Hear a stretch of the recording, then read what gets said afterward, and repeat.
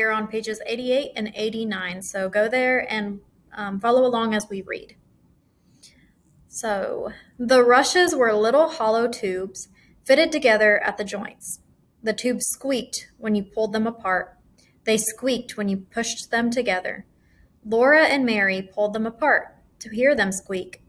Then they put little ones together to make necklaces. They put big ones together to make long tubes.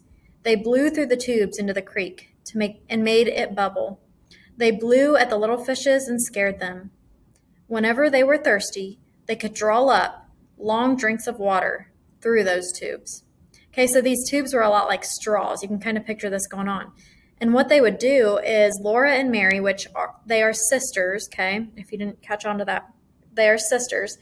And they would just play with these tubes. They would pull them apart, push them together, make them squeak. They'd hear that noise. They would make necklaces out of these tubes that they found, um, those rushes that they found on the side of the creek. And they would also blow at the fishes and make bubbles in the water. And then they could also drink the water um, with those tubes too. So they were a lot like straws, is what they were. They just um, were plants growing on the side of the creek. Uh, Ma laughed when Laura and Mary came to dinner and supper, all splashed and muddy, with green necklaces around their necks and the long green tubes in their hands. They brought her bouquets of the blue flags, and she put them on the table to make it pretty. I declare, she said, you two play in the creek so much, you'll be turning to water bugs. Pa and Ma did not care how much they played in the creek, only they must never go upstream beyond that little valley, that little willow valley. The creek came around a curve there. It came out of a hole full of deep, dark water. They must never go near enough to the hole, even to see it. Some day I'll take you there, Pa promised them. And one Sunday afternoon, he told them that this was the day. Okay, so what does that say in that second last paragraph? Um, let's reread that just and kind of listen to what we're listening to something that the girls aren't allowed to do. Okay, so Pa and Ma did not care how much they played in the creek, only they must never go upstream beyond the little Willow Valley. The creek came around the curve there. It came out of a hole full of deep, dark water. They must never go near enough to the hole, even to see it. So, what clues in this story um, suggest that Laura might get into trouble later on in this story with this? So, I feel like by saying this on the text, by distinctly saying they're not allowed to go here, and um, that's the only place they're not allowed to go, and it kind of explains it a little bit more, that might foreshadow, which means it's going to kind of um, suggest that Laura might get in trouble later on with this event okay, or with going too near to that deep, dark hole. Okay, so it kind of foreshadows. Um, let's go ahead and go to page 89. So, deep water. So, it says that today is the day that Pa said that they could bring them to this part of the lake. Okay, so deep water. In the dugout, Laura and Mary took off all their clothes and over their bare skins, they put on old patched dresses. Ma, Ma tied on her sunbonnet.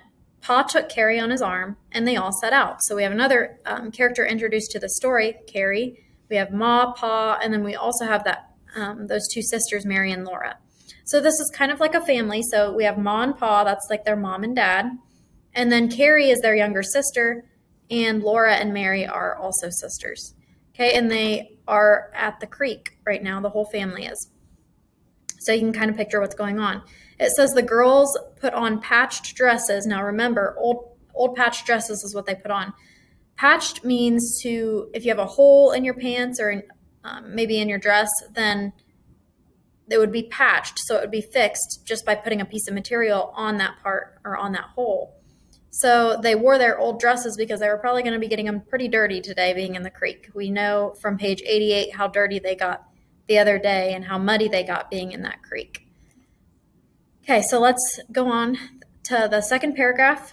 They went past the cattle path and the rushes, past the willow valley and the plum thickets. They went pat they went down a steep grassy bank and then across a level place where the grass was tall and coarse. They passed a high, almost straight up wall of earth where no grass grew. What is that, Pa? Laura asked. And Pa said, That is a tableland, Laura. He pushed on through the thick, tall grass, making a path for Ma and Mary and Laura. Suddenly they came out of the high grass and the creek was there. It ran twinkling over white gravel into a wide pool, curved against a low bank where the grass was short. Tall willows stood up on the other side of the pool. Flat on the water lay a shimmering picture of, the, of those willows, with every green leaf fluttering. Okay, so I feel like on that page, page 89, we can really sequence the events. Now remember, sequencing is putting the events in order.